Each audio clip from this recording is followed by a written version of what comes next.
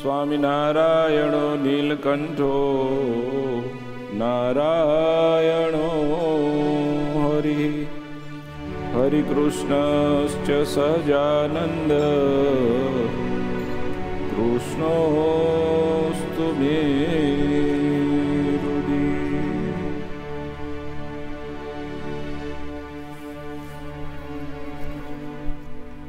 વિક્રમ સંમત બે હજાર પંચોતેર ચૈત્ર સુદ પૂર્ણિમા, શુક્રવાર, તારીખ ઓગણીસ એપ્રિલ બે હજાર ઓગણીસ. આજે પૂર્ણિમા છે. શાસ્ત્રી વિધિ પ્રમાણે શ્રી હરિજી મહારાજ આજ પારણેથી દસ વાગે ઉતરશે. શિવલાલભાઈના આખ્યાનમાં છેલ્લે વાત આવી હતી. શિવલાલભાઈને બોટાદ આવવું નહોતું, પરંતુ સંતોના કહેવાથી છેવટે બોટાદ આવ્યા. બોટાદ એટલે નહોતું આવું કે એમણે હવે ઘર, બાર, વ્યવહાર, સંસાર, સ્વપ્ના જેવો જાણી લીધો છે, એને ખોટો કરીને અક્ષરધામ પોતાનું ઘર મનાવી લીધું છે. તો ખોટા ઘરે છેલ્લે છેલ્લે શું જવું? સંતોએ કીધું કે, ભાઈ, જાઓ. ગયા. પરંતુ એમણે એક શરત રાખી કે મારો ખાટલો મંદિરે રાખજો. રિયલ એવું જ કરાવડાવ્યું. તેત્રીસ વર્ષની ઉંમરે જે ભક્તરાજ ધામમાં જવા તૈયાર થયા છે, એ પણ ઘરે જવા ઈચ્છતા નથી.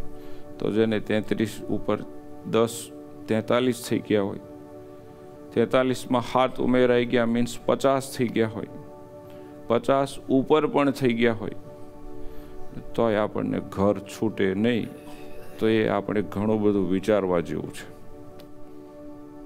ખળેખમ થાય તોય ઘર સાંભળે, તાવલી આવે તોય ઘર સાંભળે. કાંઈ પણ હોય એટલે એમ જ થાય, હું ઘરે જઈ આવું હવે. થોડાક દી ઘરે રહી આવું હવે. એને વિચાર આવવો જોઈએ કે મારામાં અને શિવલાલભાઈમાં કંઈક બહુ બધો મોટો ફરક છે. એ ભગવાન અને ભગવાનના સંતો અને ભક્તોના વાતાવરણમાં જ રહેવા ચાહે છે અને હું સારા મોળા પ્રસંગે દેશકાળે ધડાંગ દઈને ઘર કુટુંબ કબીલા ભેગો થઈ જવા ચાહું છું. કદાચ ફરક એ પડશે કે એનો દેહ પડે એટલે એ ચોક્કસ અક્ષરધામમાં જશે અને મારો દેહ પડે તો ફરી ક્યાંક જન્મ આવશે. કારણ કે આપણને ભગવાન અને સંતો ભક્તો કરતાં ઘર વધુ ગમે છે તો ઘરે રહેવાનું મળે. પછી બધા એમ કે આ નાનો એવો બાબો નાનો છે, પણ બહુ સારો છે. ઓહો એને ભગવાનમાં સંતોમાં હેત બહુ, એને ભાભા બહુ ગમે, પણ ભાભા ગમે તો ભાભા ભેગો રહ્યો હતો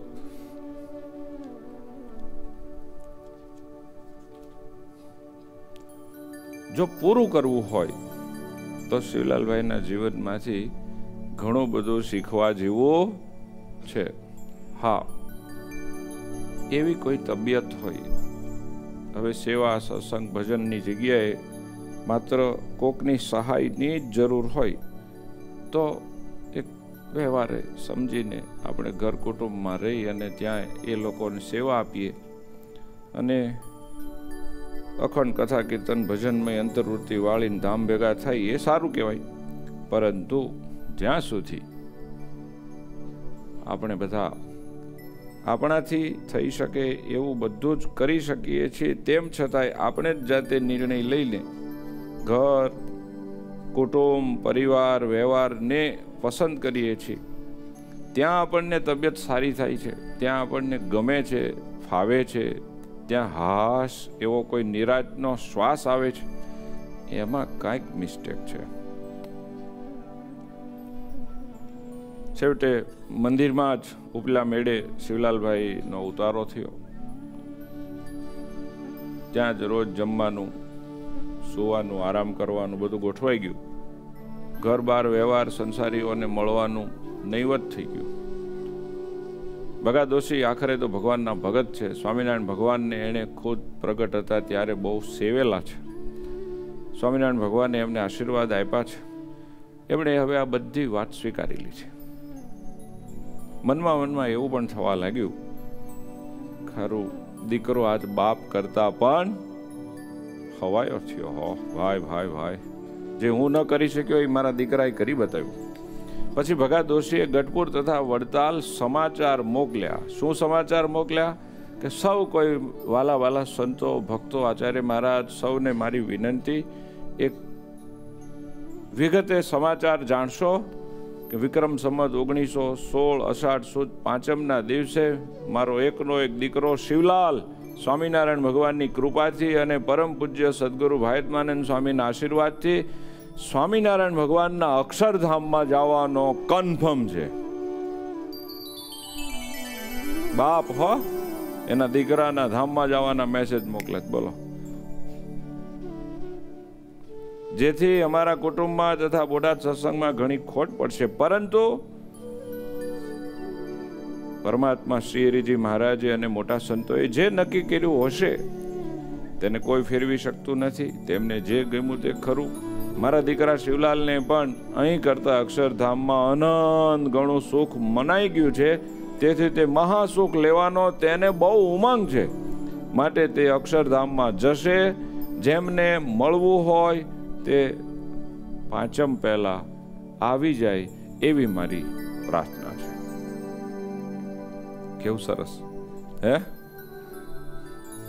ભલા ભક્તો, આ તો જાણે અત્યારે તો કોઈ મરી જાય, પછી સમાચાર મોકલે કે આ ભાઈ અક્ષરવાસી થયા છે, તેના જવાથી અમારે ઘણી ખોટ પડી છે. હરીને ગમ્યું તો સાચું. આમ સૌ ભૂતકાળના સમાચાર મોકલે છે ત્યારે ભગાદોશીએ કાગળ લખી ભવિષ્યમાં પુત્ર ધામમાં જવાનો છે એવા સમાચાર મોકલ્યા. આ તો સ્વામિનારાયણ સંપ્રદાયની વિશિષ્ટ દિવ્યતા છે. સારું કહેવાય ને ભાઈ? કદાચ દુનિયાના માણસોને આની ગરિમા હોય કે ન હોય, કદાચ ઇતર ધર્મના કોઈ સાધુ, સંતો, ધર્મ ગુરુઓ, વક્તાઓ, વિદ્વાનો, પંડિતોને કદાચ આની મહત્તા સમજાતી હોય કે ન સમજાતી હોય, આપણે બધા તો છેલ્લા બસો વર્ષથી આવા ઘટી રહેલા ઇતિહાસોના સાક્ષી બન્યા છીએ કે આ ધરતી ઉપર, આ જ સમાજમાં ઉછરેલા માણસો, ગમે એટલી નાની કે મોટી ઉંમરે સ્વામિનારાયણ ભગવાનની અને સંતોની કૃપાથી બોલતા ચાલતા, કહીને દેહ મૂકી ભગવાનના ધામમાં જાય છે. એના અહીંયા મોટા મોટા આનંદ અને ઉત્સવો મનાવાય છે. એ સ્વામિનારાયણ ભગવાનનો બહુ મોટો પ્રચંડ પ્રતાપ છે. આપણને આવા મહારાજ, આવા સંતો મળ્યા, એ જ આપણા સૌથી મોટા ભાગ્ય જેમ કોઈ બહાર ગામ જવાના હોય કે દીકરાના લગ્ન હોય, તેમ ધામમાં જવા માટેનો સમય નક્કી કરવામાં આવ્યો હોય છે. હે? લગ્નની તારીખો નથી તમે નક્કી કરતા? એમ ધામમાં જવાની ડેટ નક્કી ફિક્સ થાય છે. આજ સ્વામિનારાયણ ભગવાનના સત્સંગની સર્વોપરિતા છે. વિશ્વના ઇતિહાસમાં કોઈ જગ્યાએ આવી વાતો લખાણી હોય એવી મેં વાંચી સાંભળી નથી.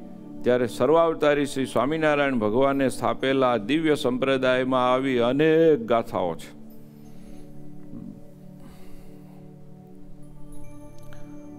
અક્ષરાધિપતિ શ્રી હરિ અહીં પધાર્યા. ત્યારથી દુનિયામાં આવા અનેક ઇતિહાસો સર્જાઈ ગયા છે. એક બે નહીં પણ અનેક ઇતિહાસો સર્જાઈ ગયા છે, સર્જાઈ રહ્યા છે અને પૃથ્વી રહેશે ત્યાં સુધી હજુ પણ સર્જાતા જ રહેશે. હા, શરત એક છે કે જેવા છે એવા સ્વામિનારાયણ ભગવાનને ઓળખી, એમની ઉપાસના ભક્તિ કરી, એમનો આશરો રાખી અને જો આપણે એમને ખરેખરા રાજી કર્યા હોય, એને માટે એમના વાલા વાલા સંતોને મન, કર્મ, વચને સેવી લીધા હોય, તો આ ઘટના આગળ પણ ચાલુ ને ચાલુ રહેશે. પછી આપણે બધા ખાલી બોલવા ખાતર, બોલવામાં સાંભળવા ખાતર, સાંભળવામાં સર્વોપરિતા રાખી અને ડીંગા દેતા હોઈએ તો ન બને. એવા પાત્રો માટે આજ દિવસ સુધી ન જ બન્યું, હજી નહીં બને. એ પછી ત્યાગી હોય તોય ભલે. ગ્રહસ્થ હોય તોય ભલે. જેને એક સો ટકા સ્વામિનારાયણ ભગવાનની નક્કર નિષ્ઠા છે, સાચા સત્પુરુષનો મન, કર્મ, વચને, સેવા અને પ્રસંગ હંમેશા કરતા રહ્યા છે. મહારાજની અને મોટા પુરુષની જેના ઉપર કૃપા દ્રષ્ટિ ઉતરી છે. જેમણે ખરેખર આ દુનિયાના તમામ મોહો ઉડાડી અને ભગવાનમાં સંતમાં જીવ જોડી દીધો છે. એને માટેની આવી અદ્ભુત, અનોખી ઘટનાઓ ઘટે છે. બાકી આવી સમજણ આવવી એ છોકરાના ખેલ નથી, બાપ લોઢાના ચણ્યા ચાવવા જેવું કઠણ છે. કેવું કઠણ? લોઢાના ચણ્યા ચાવવા જેટલું કઠણ છે, બાપા. અને જો આ સત્સંગમાં દેહ અને દેહના સંબંધીઓ કરતાંય વધુ મારા મહારાજ અને એના મુક્તોને, પ્રગટ મુક્તોને કોઈ વાલા રાખી મન, કર્મ, વચનને સેવવા લાગે છે. એની આજ્ઞા અને મરજીમાં રહે છે. એનો અચાળ આશરો રાખે છે. તો આજે પણ આવું બની જાય છે. આજે પણ. બહુ ઝાઝા વર્ષો નથી થયા. કદાચ દસ, પંદર વધી વધીને થયા હશે. સુરતમાં એક ઉગામેડીના જયરાજભાઈ ગઢિયા કરીને હરિભગત રહે છે. એમનો એક દીકરો હતો, એનું નામ હતું કમલ. એમને એમના પગમાં કંઈક કેન્સર કે એવું કશુંક થયું હતું. આપણી બાળ શિબિરમાં હંમેશા આવતો, બહુ જ ડાયો દીકરો હતો. હવે હજી એની પંદર જ વર્ષની ઉંમર હતી એ છોકરાની. ધીરે ધીરે પગ કપાવવો પડ્યો. કપાવ્યા પછી પણ સારું નથી એને પોતાને ખ્યાલ આવી ગયો કે હવે હું આ દેહમાં દુનિયામાં નહીં રહું. એટલે એણે એના બાપ પાસે, એના સગા સ્નેહીઓ, સત્સંગીઓ પાસે એક જ માંગણી કરી કે તમે મને ગુરુજી સાથે વાત કરાવો. હવે એ અહીં આવી શકતો ન હતો, એ ખાટલા વશ હતો. તો બાય ફોન ગુરુજી સાથે વાત થઈ. અને પંદર વર્ષની ઉંમરના છોકરાને નક્કી છે કે હવે મારે ધામમાં જવાનું છે. ગુરુજીને શું કે ખબર છે? ગુરુજી, મહારાજને એટલી પ્રાર્થના કરજો. આને આ જન્મે મહારાજ મને ધામમાં લઈ જાય. મારામાં કોઈ કસર રહી ન જાય. બાકી ભલે જે થાય છે એવી તમે ગુરુજી મહારાજને પ્રાર્થના કરજો. કેટલા વર્ષનો બાળક? પંદર વર્ષનો બાળક. એનો નાનો ભાઈ નિકુંજ ગઠિયા અંકિત તો એનો કઝિન ભાઈ રાઈટ આ એનો નાનો ભાઈ છે, નિકુંજ. આનાથી મોટો ભાઈ હતો એ કમલ કરી હતી કેવો સત્સંગનો પ્રતાપ છે તમે વિચાર કરો. આજ સર્વાવતારી સ્વામિનારાયણ ભગવાન આ સત્સંગમાં પ્રગટ પ્રમાણ છે. આજ પણ પુરુષોત્તમ નારાયણને વરેલા એમના અત્યંત વહાલા સંતો અને ભક્તો આ સત્સંગમાં પ્રગટ પ્રમાણ છે. એમાં હેત થાય, એનો સ્વીકાર થાય, એમાં આપણો જીવ જડાઈ જાય, તો એમના જ આશીર્વાદથી, એમની કૃપાથી એમને સેવતા સેવતા આજે પણ આવું બની શકે છે. એમાં કશું જ ખોટું નહીં. એવો દિવ્ય અને ભવ્ય સત્સંગ આપણને પ્રાપ્ત થયો છે. હવે આપણે બધા જ આપણી ઈચ્છા પૂર્તિ કરવાનું બંધ કરીએ અને મહારાજ અને મહારાજના વાલા વાલા સંતોની જ પ્રસન્નતા પ્રાપ્ત કરવાનું શરૂ કરી દઈએ. એ જેમાં રાજી, એમાં આપણે રાજી. એમને જેમાં સુખ થાય છે, એ જ આપણું સુખ છે. એમને સુખ દીધાનું આપણે સૌ સુખ લેતા થઈએ એમનો આનંદ એ આપણો આનંદ છે. એમનું ગમ્યું તો એ આપણા મનને ન ગમતું હોય તો પણ આપણે ગમાડી દેવું છે. આજે ભલે આપણે એવા બળિયા હોઈએ કે ન હોઈએ, પણ આપણને મળેલા મહારાજ, આપણા વાલા સંતો અને આ ભક્તો તો મહાન છે. આપણે એના બની જઈએ. કદી તુજ સમ થવા કરતા કેવળ તારા થઈ રહીએ. ખરી મોટપ છે નિજને ભૂલવામાં બાપ. પછી બાપ એ તું મનાવી દે. આપણે જો આ રસ્તે ચાલવા લાગીએ, તો આ સત્સંગ આજે પણ એવો ને એવો દિવ્ય અને ભવ્ય છે. એવો છે એને કાળની ઉજઈ લાગતી નથી. નિષ્કોળાનંદ સ્વામીનું એક બહુ સરસ પદ છે. આપણને સૌને આજે જે પ્રાપ્તિ થઈ છે ને, એનો કેફ ચડાવે એવું છે. હું આશા રાખું નાના બાળકો, કિશોરો, યુવાનો, વડીલો, આપણે બધા જ કોઈ દુનિયાભરમાં કથા સાંભળી રહ્યા હોય, એ આ પદને જોરશોરથી માણી, હૈયામાં એનો કેફ ઉતારે અને કાયમ આવો ને આવો કેફ આપણા હૈયામાં રહે કે જીવતા લાખના અને મરવાનું થાય તો સવા લાખના આપણે આપણને માનીએ. સહેજય મોળા ન પડી. જઈએ કેમ છે મરીને જેની ભેગા રહેવાનું છે એ તો બાપ જીવતા મળ્યા છે. આય રાખે મારો નાથ. તો આય સેવા સત્સંગ અને ભજન કરીને એને રાજી કરશું. અને એને લઈ જવા હોય તો આપણે એના તો છીએ. એ આપણો માલિક છે. માલિકને, એના મેનેજરોને, એના માણસોને ક્યાં રાખવા એ નિર્ણય એમણે લેવાનો છે. બરાબર છે ને ભાઈ? આપણું કુટુંબ પરિવાર, ધંધો કે વ્યવહાર, આપણે આપણું માનીને બેહી જઈએ આપણે માલિક થઈ પડીએ તો બધો મુંજારો આપણે. આપણે મહારાજના. આપણું જે ગણાય છે એ પણ મહારાજનું. હવે એને નિર્ણય લેવા દો ને. કે આ કુટુંબમાં, આ પરિવારમાં, આ એમના આખા ફેમિલીમાં ક્યારે ક્યાં કેવી વ્યવસ્થા રાખવી? અને જો આપણે એના થઈને રહીએ, તો આજ દિવસ સુધી એણે હું નથી સંભાળ્યું જ્યાં આપણે કોઈ દિવસ કશું જ કરી શકીએ એમ નહોતા એવું પણ એમણે અનેક ગણું હારામાં હારું કર્યું છે કે નથી કર્યું ભાઈઓ? તો હવે નહીં કરે. એના ભરોસે રહી અને નહીં કરે. માટે એવો કેફ રાખીએ કે, હે મહારાજ, તમે મારા ભાગ્યમાં હો ક્યાંથી? બાપ, તમે આવા તમારા વાલા સંતો, આવા ભક્તો, આવો દિવ્ય સત્સંગ આપ્યો, ધન ધન ધન ધન ધન થઈ ગયા.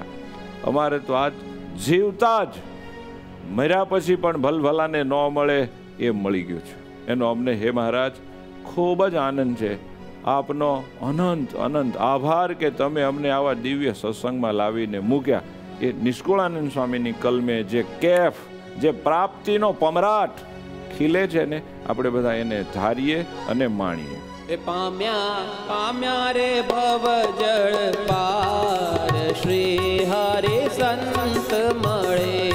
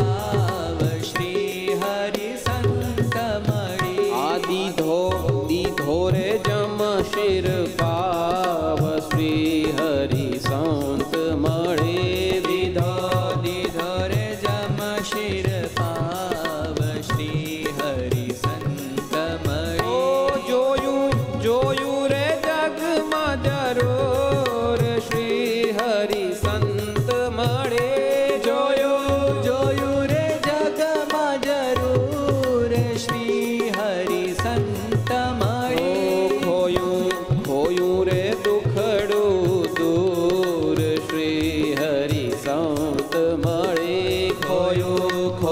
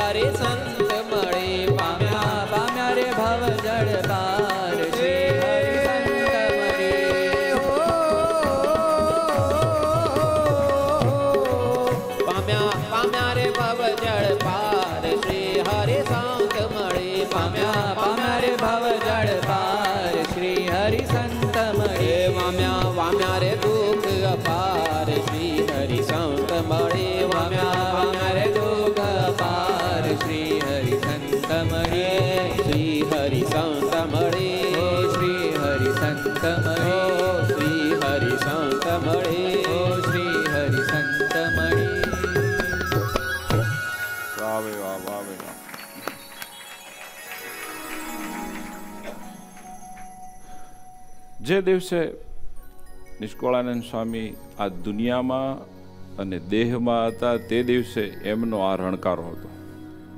પાયમા પાયમા રે ભવજાળ પાર. ભવસાગરનો પાર પામી ગયા છે કે છે. એનો મતલબ મોક્ષ થઈ ગયો છે. મર્યા પછીની રાહે નહીં.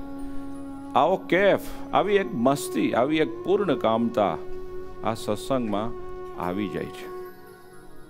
એના માટે બે બાબત વાલા ભાઈઓ ધ્યાન દેજો, આવશ્યક છે. એક, મળેલા આપણા વાલા વાલા ઈષ્ટદેવ ભગવાન શ્રી સ્વામિનારાયણ અને એમના પ્રગટ સંતો ભક્તોનો મહિમા એટલો દ્રઢ થવો જોઈએ કે અક્ષરધામના જ અહીંયા પ્રગટ પ્રમાણ મનાઈ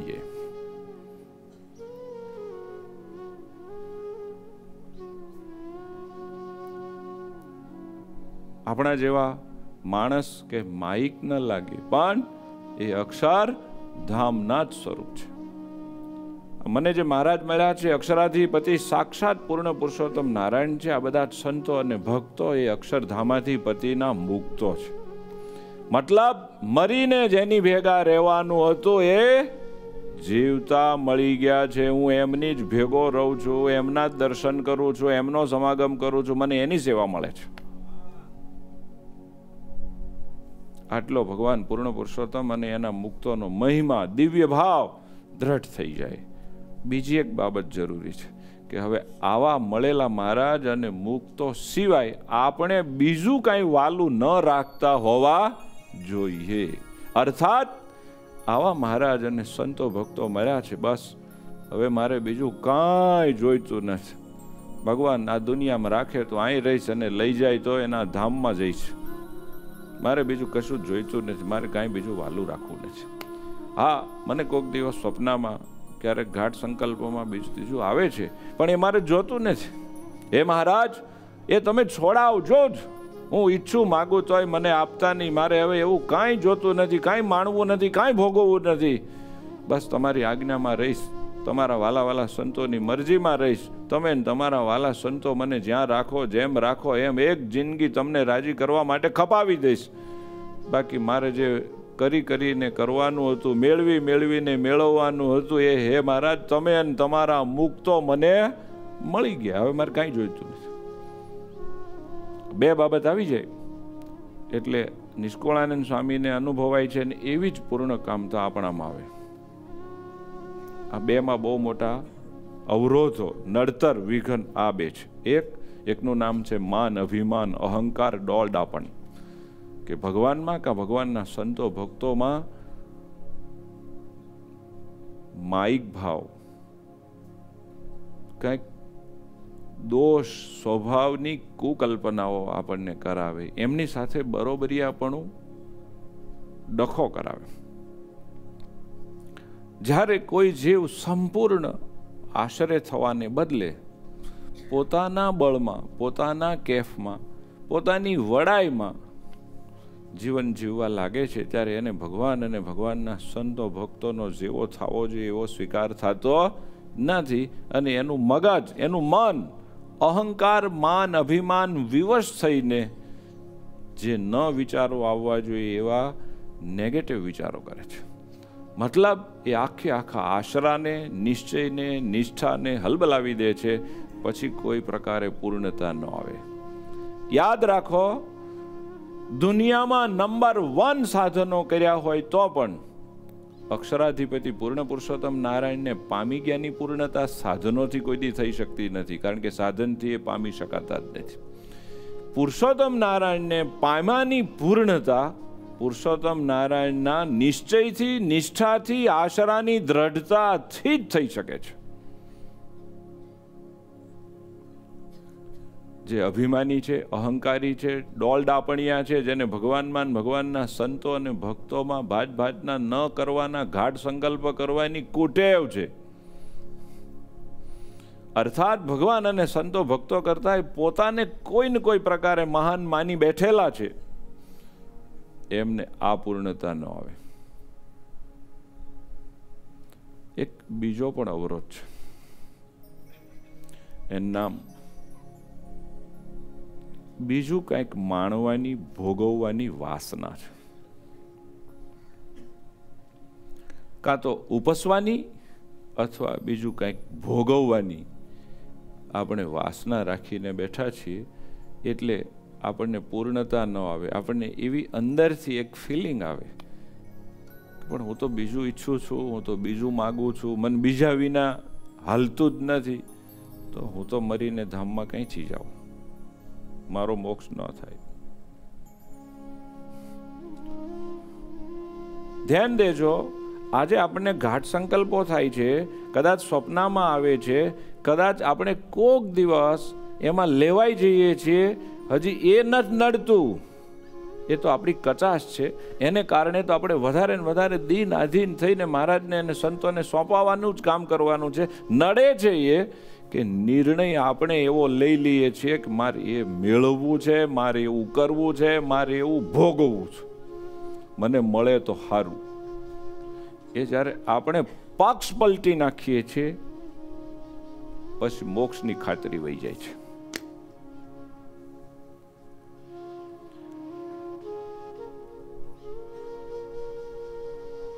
આપણે બધા સત્સંગમાં રહીએ છીએ. આપણી પાસે જેટલા વ્યક્તિઓ નિષ્કપટ થતા હોય, એમાંથી અમુકની આપણે ખાતરી દઈએ કે જિંદગીભર એને કોઈ દિવસ સત્સંગમાં, નિયમ ધર્મમાં નહીં વાંધો આવે, જાઓ ગેરંટી અને અમુક આપણી પાસે નિષ્કપટ ન થતા હોય ને આપણે એનું આટલું બધું ન જાણતા હોય ને તોય આપણને વિશ્વાસ ન આવે. શું કારણ છે? જ્યારે આપણને એના પક્ષની, એના રિઝલ્ટની ખબર પડે છે ને, ત્યારે આપણે કાં તો હા અને કાં નાનો નિર્ણય લઈ શકીએ છીએ. ભલે એના ઘાટ સંકલ્પો, એની ઈચ્છા વાસના આપણને કહે છે, પરંતુ આપણને એ ખબર છે કે એનો જીવ જોરદાર એવો ઠરાવ તો કરી જ બેઠો છે કે મને આવા ઘાટ થાય છે, આવી ઈચ્છા રહે છે, આવી મારે સંકલ્પની પીડા કે વાસના છે, પણ તમે છોડાવજો છોડાવજો અને છોડાવી જ દેજો કોઈ દી પૂરી કરતા એને પસ્તાવો એ વાસના દોષો નથી ટળ્યા, એનો છે એ નથી મળ્યું, એનો નહીં. તો આપણે એની ગેરંટી દઈએ કે એક દિવસ ચોક્કસ ચોખ્ખો થશે, શુદ્ધ થશે અને ભગવાનને પામશે. જે અવારનવાર ભોગવી લે છે, અથવા તો એને માન અભિમાન જે જોતું હોય એ મેળવી લે છે અને એનો આનંદ માણે છે, તો આપણને એવું લાગે આનું નક્કી નહીં. આનું નક્કી નહીં. આ તો આપણાથી છાનું છૂપું કૂડ કપટ કરીને પણ એની ઈચ્છા પૂરી કરે છે. આનો પક્ષ જ બીજો છે. તો એમાં પૂર્ણતા ન આવી શકે વાલા ભાઈઓ, પાયમાં પાયમાં રે ભવજાળ પાર. આ અનુભૂતિ માટે સ્વામિનારાયણ ભગવાન અને એના સંતોનો સો ટકા દિવ્ય ભાવે સહિત મહિમા અક્ષરધામના જે સ્વરૂપ મને સાક્ષાત મળ્યા છે, એવો સ્વીકાર થઈ જવો જોઈએ અને આપણે એના સિવાય કશું જોઈતો નથી. આવી આપણી દ્રઢતા હોવી જોઈએ. એના માટે આપણે માન અભિમાન મૂકી દાસના દાસ થઈ જવું જોઈએ અને આપણો અંદરનો પક્ષ ચોખ્ખો હોવો જોઈએ. કે ભલે મારી ઈચ્છા છે, વાસના છે, પણ એ મેળવવું નથી. એ મેળવીને રાજી થવો નથી. હે મહારાજ, તમે એને છોડાવી દો બાપ. જલ્દીમાં જલ્દી છોડાવો. કોઈ દિવસ તમે મારી ઈચ્છાઓ પૂરી કરશો નહીં. આવી દ્રઢતા જરૂરી છે.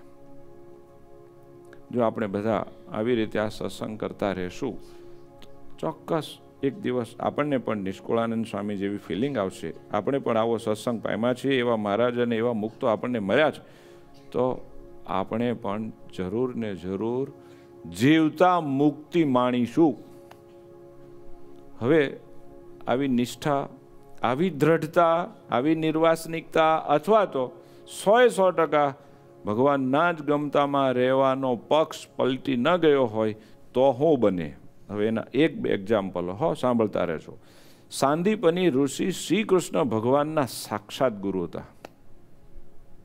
પ્રગટ પરમાત્મા એમના આશ્રમમાં વિદ્યાર્થી બનીને આવેલા. આ ગુરુ અને ભગવાન એના શિષ્ય થયેલા. અને તેમનો દીકરો સોમનાથના દરિયામાં તણાઈ ગયો, તેને વર્ષો વીતી ગયા હતા. ચાંદીપની ઋષિ એકવાર પ્રભાસ પાટણની જાત્રા કરવા ગયેલા, તો ત્યાં એમનો દીકરો સોમનાથ દરિયામાં બુડી ગયો હતો. પરંતુ શ્રી કૃષ્ણ બળદેવ ભણી રહ્યા અને ગુરુ દક્ષિણા માગવાનું કહ્યું ત્યારે ઋષિ તથા ઋષિ પત્નીએ વર્ષો પહેલાં મરી ગયેલો પોતાનો દીકરો પાછો માગ્યો. કોની પાસે? ભગવાન પાસે. હું તમને પૂછું, જો એમને શ્રી કૃષ્ણમાં ભગવાન જેવો કોઈ અહોભાવ દિવ્ય ભાવનો નિશ્ચય ન હોત, તો વર્ષો પહેલાં દરિયામાં ગુજરી ગયો હોય, એને કોઈ માણા પાસે પાછો માગે? બોલો, માગે? આપણે કોઈ દી કોઈની પાસે માગવા ગયા? આપણે એની પાસે માગીએ કે જ્યાં આપણને એવી પ્રતીતિ આવે કે આ ધારે તો પાછો લાવી શકે. એનો મતલબ એમને એ ખબર પડી ગઈ કે આ શ્રી કૃષ્ણ ભગવાન છે. આ બળદેવ બહુ સમર્થ છે.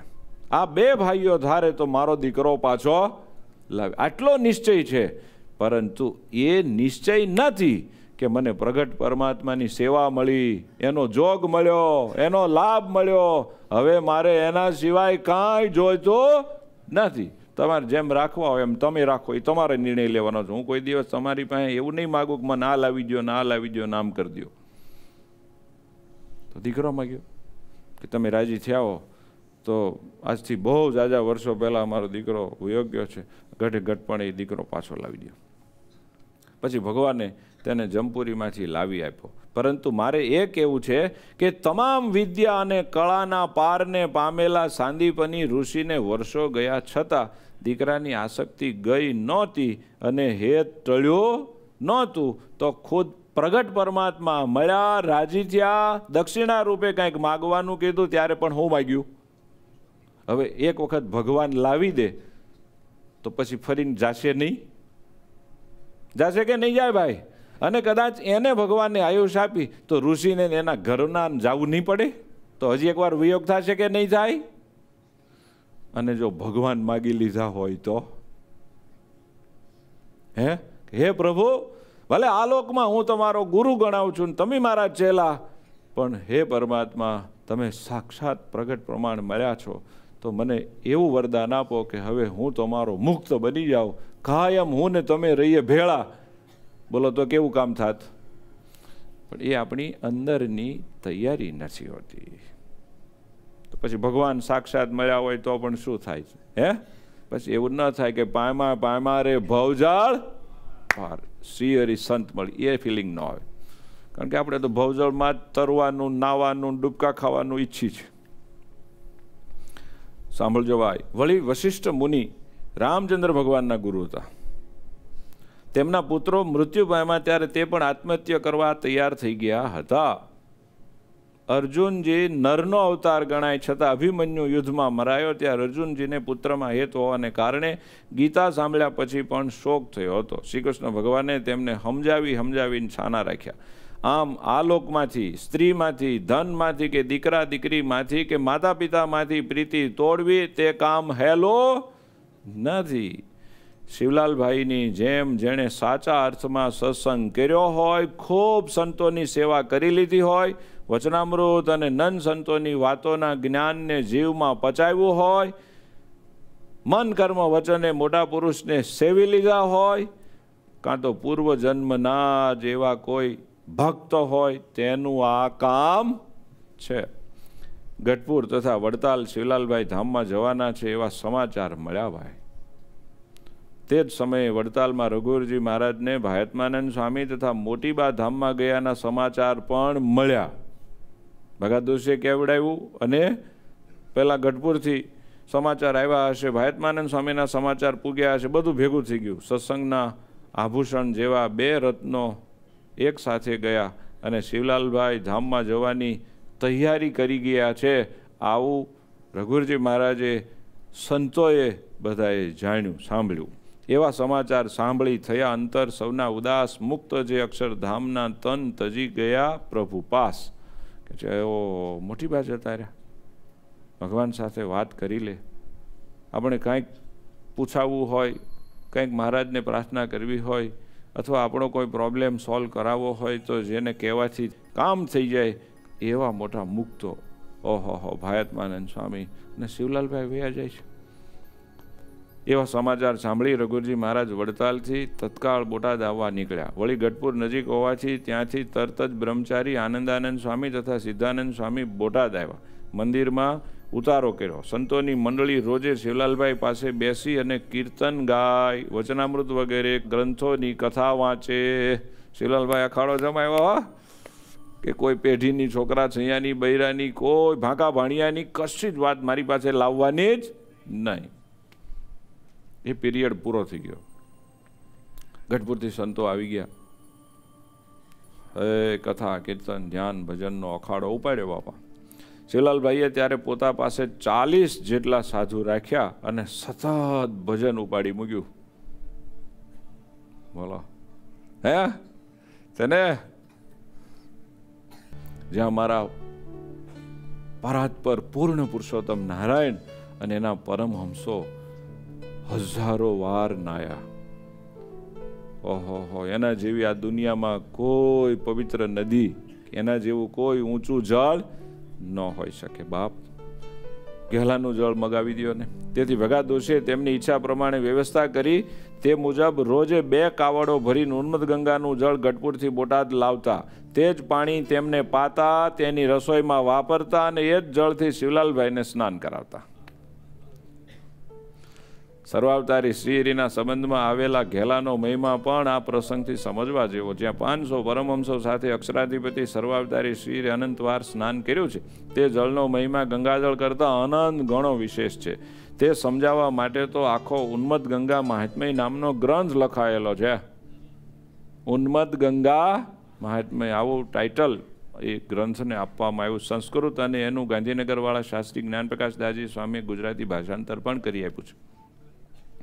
આપણને પણ જ્યારે સ્વામિનારાયણ ભગવાનનો મહિમા સમજાશે, ત્યારે શ્રીહરિના સંબંધમાં આવેલ દરેક વસ્તુ, પદાર્થ, વ્યક્તિ, ઝાડ, ઘર, પથ્થર, નદીઓ કે તળાવો વગેરેનો અતિ મહિમા થશે. બધું શિહરીના સંબંધથી નિર્ગુણ સમજાશે, ચિન્મય સમજાશે અને દિવ્યતાની અનુભૂતિ થશે.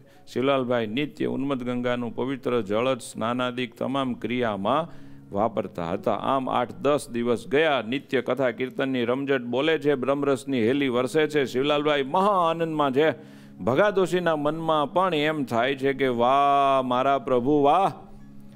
અને વાહ, મારો દીકરો શિવો! અરે, પણ તે તો ગજબ કરી નાખ્યો હો બેટા. હે? આવડી ઉંમર, આવી મોટી સુખ સાહેબી તોય તું તો હસતો હસતો ધામમાં જવા તૈયાર થયો.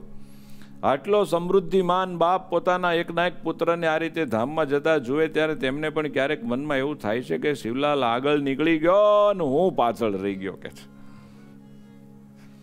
જેમ મોટીબાની પ્રાર્થનાથી શિરે દૂધનો કટોરો પીધો અને અભલ બાપુના પગમાં ફગાવ્યો ત્યારે બાપુને સમજાણું કે મારી દીકરી મોટી જીવો આગળ નીકળી ગઈ ને હું કાંઈ સમજો નહીં, પાછળ રહી ગયો. તેમ ભગા દોશીને પણ ક્યારેક ક્યારેક એમ થાય છે કે બેટો આગળ નીકળી ગયો અને હું પાછળ રહી ગયો. આવું જો ઘરમાં હોય તો અભિમાન મૂકી અને સ્વીકારી લેવું. આપણે જૂના હોઈએ, બાપ તરીકે હોઈએ, મોટા હોઈએ, એનું એક લાયસન્સ લઈ લીધું હોય કે તું મને કહેનારો કોણ? તો આપણી હળેલી જિંદગી આમ નામ હળી જાય. જો આપણા કરતાં એમની નિષ્ઠા, એમનો મહિમા, ભાવના કાંઈ પણ વિશેષ હોય તો ભલે આપણે એના કરતાં કોઈ પણ પ્રકારે ઉપર હોઈએ, પણ એનો સ્વીકાર આપણને થાય તો એમાં આપણું જ ભલું છે. આમ કરતા અષાઢ સુદ ચોથનો દિવસ આવ્યો ભાઈ.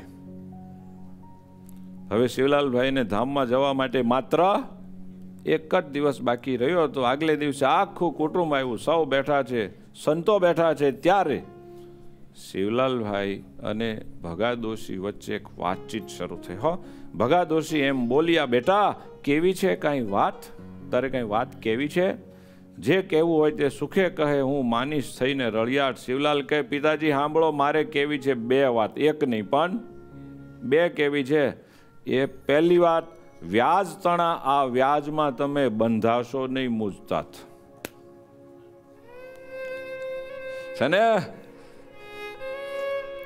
કે હું તો બાપુજી જાઉં છું. તમે પ્રગટ પુરુષોત્તમ નારાયણ ભેગા બહુ રહ્યા છો. જો સાચે જ સ્વામિનારાયણ ભગવાનને અને સંતોને સેવા હોય તો મારી વાત સાંભળો. એ વ્યાજનું આ વ્યાજ. એમાં બંધાતા નહીં. એનો મોહ રાખતા નહીં. તમારે જે દાડે ધામમાં જવાનું થાય તો હસતા હસતા આવતા રહેજો. એની પેટ બળતરા ચિંતા મોહમાં તમારો મોક્ષ બગાડતા નહીં. છે ને? બોલો, કેવો હશે? એને તો નથી, પણ એના બાપને પણ ભલામણ કરે છે કે તમે પણ આની ચિંતામાં અવરાતા નહીં. કેવો હશે? ભાઈ ભાઈ ભાઈ, પિતાજી, આ મારા પુત્રોમાં તમે મોહ રાખતા નહીં. શિવલાલભાઈને ત્રણ પુત્રો હતા. તેમાં આ સમયે મોટા કેશવલાલની ઉંમર તેર વર્ષની હતી. બીજા છગનલાલની ઉંમર અગિયાર વર્ષની અને નાના હરિલાલની ઉંમર નવ વર્ષની. ત્યાં ત્રણ સામી આંગળી ચીંધી શિવલાલભાઈ કે, બાપુજી, આ વ્યાજના વ્યાજમાં તમો બંધાતા નહીં વણિક પુત્ર હોવાથી તેની વ્યાજવટાની ભાષામાં વાત કરી, હો. એ લોકોને એવું થાય ને, ખેડૂતો હોય તો ખેડૂતની લગતી વાતો કરે વેપારીઓ વ્યાપારને લગતી દૃષ્ટાંતથી વાત કરે. અને કીધું કે, આ વાત મારી કબૂલો, તો બીજી વાત કરું. નહીં તો કહેવાનો મતલબ શું છે? પહેલાં આની હા પાડો. ત્યારે ભગા શેઠ કે, બેટા, ભલે કબૂલું છું, તે બાબતની તું ચિંતા કરીશ ને હું તેમાં નહીં બંધાવ. બહુ સારું. પિતાજી, તો બીજી વાત સાંભળો. બીજી કઈ કીધી છે, સાંભળજો, હો. પિતાજી, હવે ચાલો, પાછળની તો ચિંતા વહી ગઈ. હવે એક વાત કહી દઉં કે, કાલે મારું આ ખોળિયું પડી જાય. હું મહારાજ અને મુક્તો ભેગો ધામમાં જતો રહું. પછી જ્યારે આ દેહનો અંતિમ સંસ્કાર કરવાનો થાય ત્યારે સાધુની પેઠે ઉત્સવ કરતા સ્મશાન યાત્રા કાઢજો. કીર્તન ગાજો.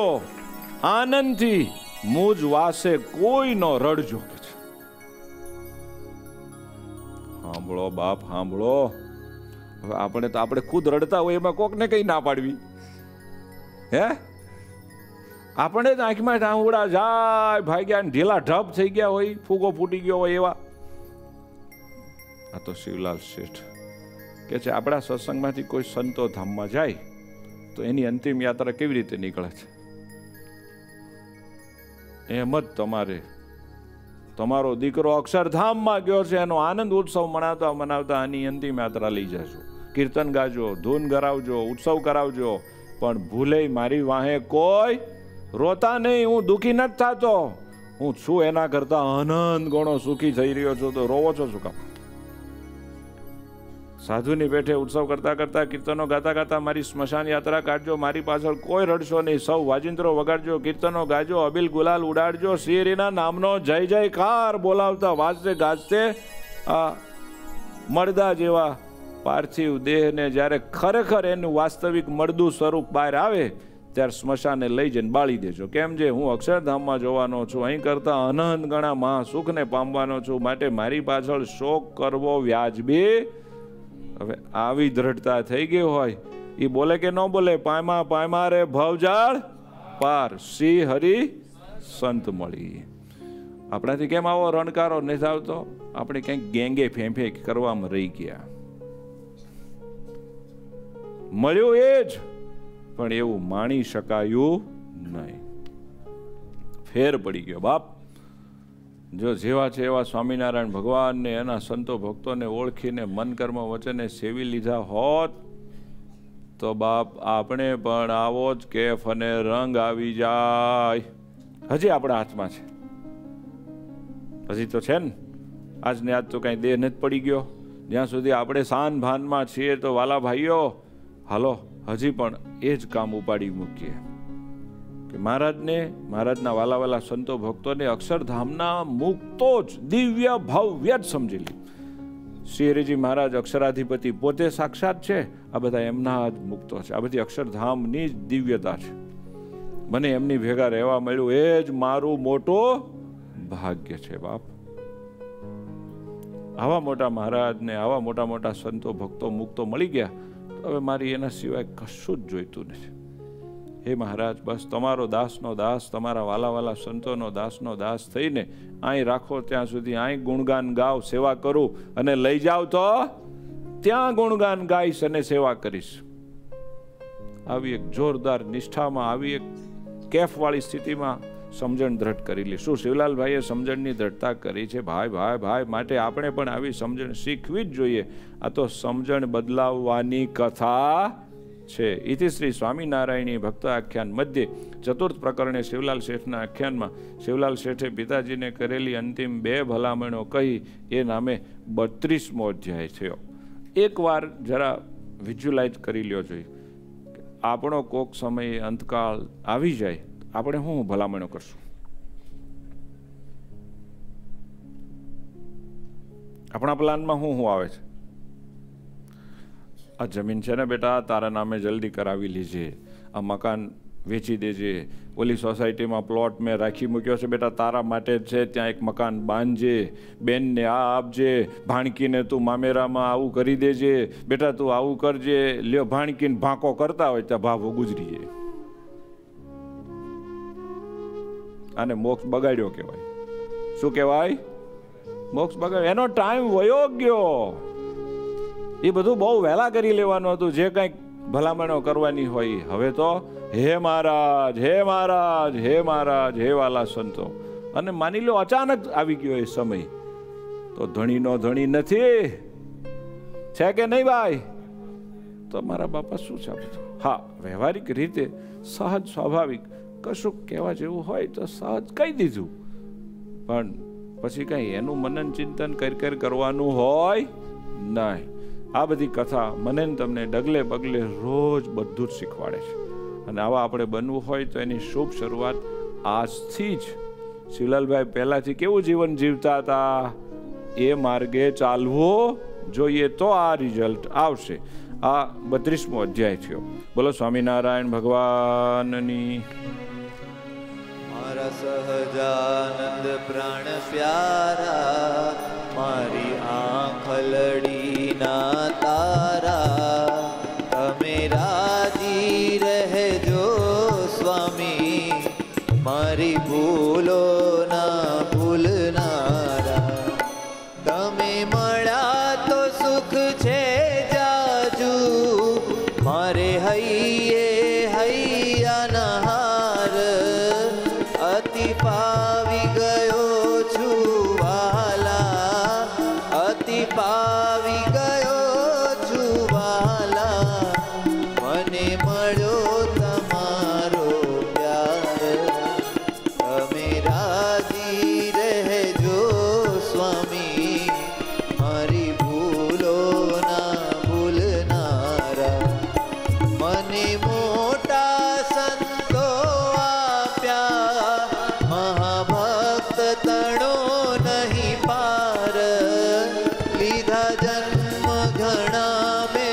વાલા લીધા